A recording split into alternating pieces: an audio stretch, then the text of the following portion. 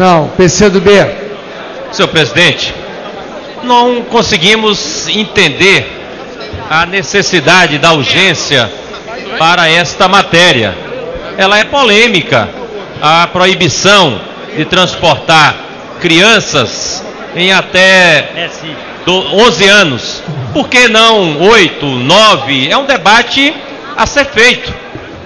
O aumento das penas fica-se uma ideia que está prevalecendo em alguns debates nesta casa, que basta aumentar as penas que já daria conta. E nós achamos que tem outros elementos que precisam ser agregados a esse debate.